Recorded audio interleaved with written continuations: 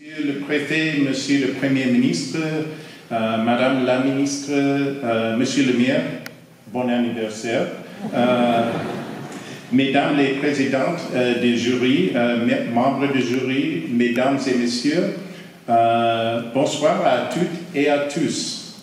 C'est un grand plaisir de retrouver ce festival après des longs mois sans ces belles découvertes cinématographiques alors que nous aurions eu bien besoin du cinéma pour nous faire rêver, nous faire voyager, nous faire rencontrer l'autre.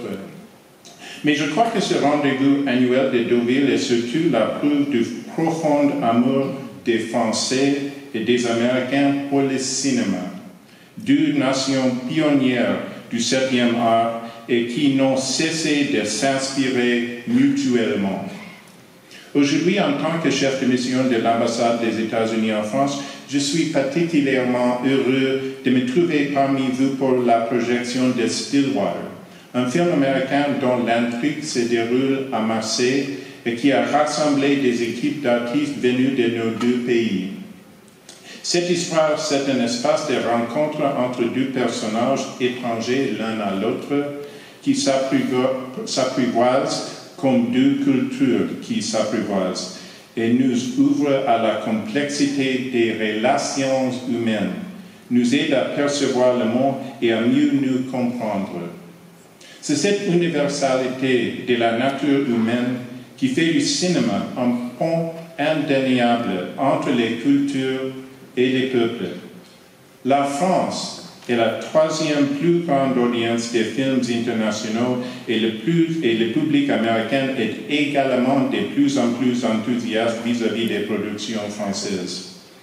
On ne peut que se réjouir de l'accessibilité du cinéma au plus grand nombre qui permet aux productions américaines de rencontrer le public en France et aux Françaises de trouver les lieux aux États-Unis.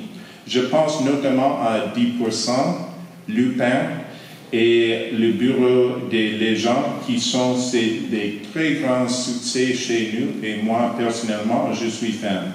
Euh, et puis l'industrie du cinéma, c'est également des milliers d'emplois des deux côtés de, l'Atlantique, direct et indirect, euh, des professions aussi nombreuses et variées, des connaissances, des compétences, des talents qui se développent s'enrichissent, s'exportent. Ce sont des investissements et du tourisme. La pandémie a affecté nos deux économies durement et le cinéma n'a pas été épargné, vous le savez mieux que moi. Mais je suis convaincu que, euh, de la fidélité infaillible de nos publics.